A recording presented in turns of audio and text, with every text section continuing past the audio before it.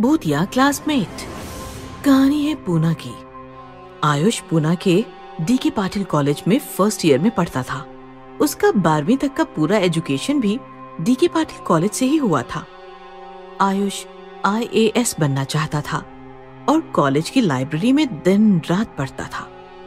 एक दिन आयुष ने लाइब्रेरियन से पूछा टाइम्स ऑफ़ इंडिया कहाँ है? मुझे मिल नहीं रहा। शायद कोई लेके गया है। आयुष चौंक गया क्योंकि उसके अलावा टाइम्स ऑफ़ इंडिया पढ़ने वाला कॉलेज में कोई दूसरा नहीं था। आयुष दूसरा न्यूज़पेपर उठाकर अपनी जगह बैठ गया।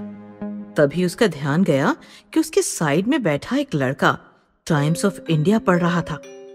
आयुष ने लड़के से पूछा आईएएस की तैयारी कर रहे हो? हाँ। क्या नाम है तुम्हारा? मेहुल फ़र्स्ट ईयर में पढ़ता हूँ। अरे फिर तो हम क्लासमेट्स हैं। पहले कभी देखा नहीं तुम्हें? बारहवीं तक कहाँ थे? इसी कॉलेज में था। मैंने देखा है तुम्हें। क्या बात कर रहे हो यार? मैंने तो तुम्हें कभी नहीं देखा। इस प्रकार दोनों बातें करते गए और जल्द ही अच्छे दोस्त बन गए। फिर दोनों रोज दिन रात एक साथ लाइब्रेरी में पढ़ने लगे। एक दिन आयुष कॉलेज कैंटीन में अपने दोस्त नेहा और वरुण के साथ था।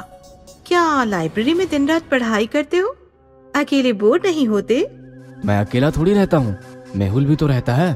कौन मेहुल? अरे वो जो मेरे बगल में बैठता है। अपना क्लासमेट है। मेरे साथ हर लेक्चर अटेंड करता है। मैंने तो तुम्हारे साथ कभी किसी मेहुल को नहीं देखा। क्या कह रही हो? रुको मैं अभी उसे यहाँ बुलाता हूँ। आयुष ने मेहुल को कॉल लगाया। तो मेहुल का मोबाइल स्विच ऑफ़ था। आयुष परेशान हो गया। तो नेहा बोली ठीक है बाबा होगा कोई मेहुल। वैसे भी मेरा ध्यान मेहुल पर नहीं वरुण पर रहता है। ऐसा कहकर नेहा वरुण से लिपट गई और आयुष भी फ्री हो गया। एक रात आयुष और मेहुल लाइब्रेरी में पढ़ाई कर रहे थे। रात बहुत हो चुकी थी। लाइब्रेरियन को नींद आ गई और उसने आयुष से कहा ओह, भाई आयुष अब लाइब्रेरी तुम ही संभालो। मैं चला तुम्हारा हो जाए तो नीचे चपरासी को ताला लगाने को बोल देना। लाइब्रेरियन चला गया और आयुष मेहुल के साथ फिर से किताब में खो गया। पढ़ते पढ़ते अचानक आयुष का ध्यान मेहुल की किताब पर पड़ा तो वो चौंक गया क्योंकि वो किताब बिल्कुल कोरी थी। आयुष ने मेहुल की किताब छीन ली और उसके पन्ने पलटे तो किताब में एक भी अक्षर नहीं था। किताब पूरी कोरी है और तुम दो महीनों से यही किताब पकड़े बैठे हो। चक्कर क्या है भाई? ऐसा कहकर आयुष ने अपने बगल में देखा तो मेहुल वहाँ था ही नहीं। ये देखकर आयुष काफ़ी डर गया। मेहुल कहाँ गायब हो गया? नेहा भी कह रही थी उसने मेहुल को कभी देखा नहीं। लाइब्रेरियन भी लाइब्रेरी की ज़िम्मेदारी मुझे दे गया। वो मेहुल को भी तो दे सकता था। क्या इन लोगों ने मेहुल को कभी देखा ही नहीं? क्या मेहुल सच में नहीं है? ये किताब ये मेहुल का गायब होना ये सब क्या है? अचानक लाइब्रेरी की सारी लाइट चली गई। और आयुष और ज़्यादा डर गया। उसने अपनी आँखें बंद कर ली और लाइट का वेट करने लगा। अचानक लाइट आ गई। आयुष खुश हो गया। उसने आँखें खोली लेकिन जब उसने बगल में देखा तो उसका दिल दहल गया। उसके बगल में मेहुल का डरावना भूत बैठा था। मेहुल ये सब क्या है? मेहुल नहीं मेहुल का भूत। और यह जो तू देख रहा है इसके जिम्मेदार और कोई नहीं बस तू है। मैंने मैंने क्या बिगाड़ा है तुम्हारा? तुमने तुमने मेरी ज़िंदगी बर्बाद कर दी। याद कर वह एक साल पहले की एचएससी एग्ज़ाम जिसमें तुमने तुमने एक लड़के को चीटिंग करते पकड़ा था। ये सुनकर आयुष एक साल पीछे गया तो उसे बायोलॉजी का एग्ज़ाम याद आया। सर ये चीटिंग कर रहा है। ए, चल खड़ा हो जा। Sorry sir extremely sorry sir. दो मिनट के अंदर निकल जा यहाँ से नहीं तो एचएस से एग्ज़ाम से रश टिकट हो जाएगा। जानता है एग्ज़ाम हॉल से बाहर आते ही मैंने क्या किया? तू कैसे जानेगा? तू तो एग्ज़ाम में बिज़ी था। मैं बिल्डिंग से नीचे कूद कर मर गया। और अब तुम्हें मारने आया हूँ। देखो मेहुल माना कि गलती मेरी है। पर तू भी तो गलत था ना? चीटिंग कर रहा था। चीटिंग गलत है।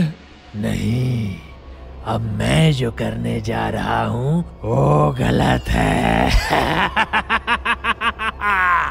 ये सुनकर आयुष डर गया। क्या करने वाला है तू?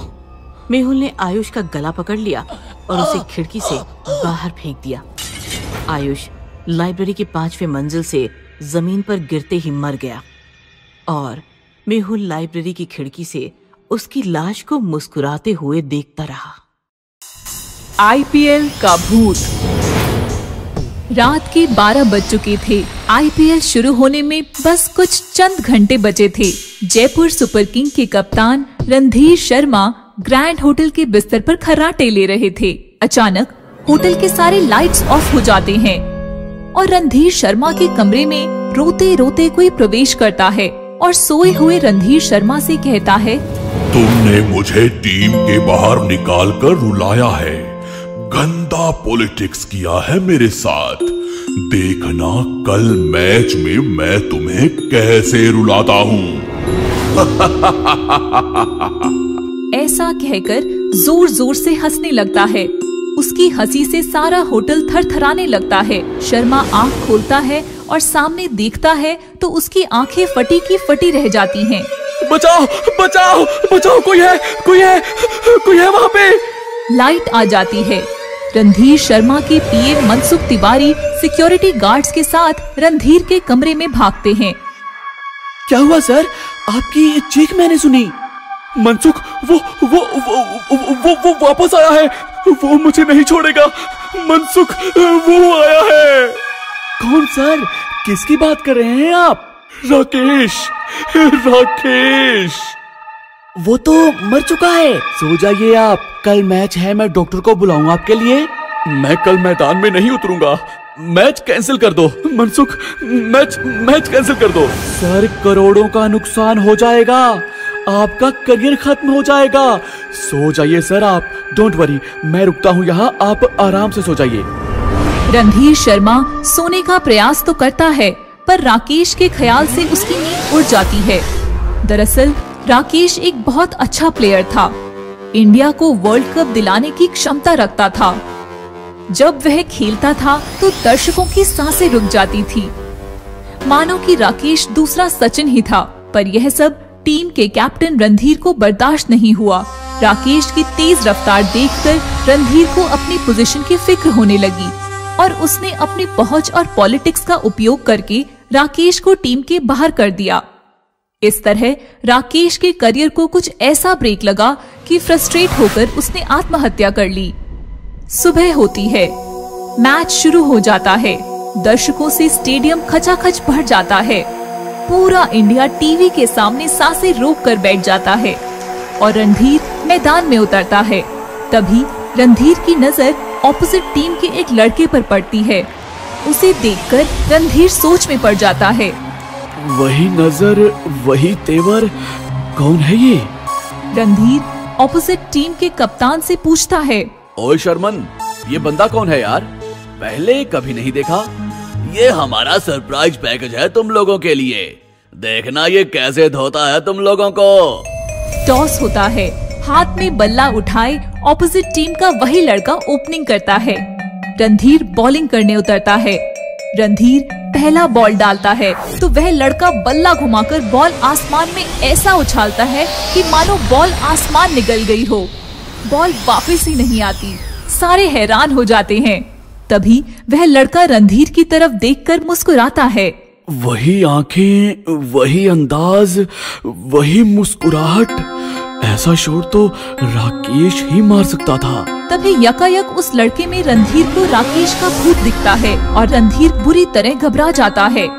ये मैच रोक दो वो मुझे मार देगा मैं मैं नहीं खेलूँगा। अरे ये क्या? कैप्टन रणधीर अचानक से ऐसे क्यों बर्ताव करने लगे हैं? रोक दो ये मैच रोक दो ये मैच रोक दो। रणधीर की हालत देखकर टीम के मालिक रणधीर के पास आते हैं। क्या हुआ?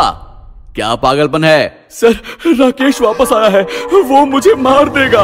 और मैं हार गया तो मैं तुम्हें मार दूँगा। जानता है करोड़ों रुपए इन्वेस्ट किए हैं मैंने। तेरे कहने पर मैंने राकेश को हटा दिया था। वो होता तो कम से कम ये दिन तो ना देखना पड़ता। पागल हो गए हो क्या तुम? राकेश का भूत रणधीर के पास आता है और मुस्कुराता है। देखा मैंने कहा था ना अब मैं तुम्हें नहीं छोड़ूँगा। मैं वापस आया हूँ सिर्फ़ तुम्हारे लिए और मुझे सिर्फ़ तुम ही देख सकते हो। बाकी कोई नहीं। ऐसा कहकर हँसते हुए बैटिंग करने निकल पड़ता है।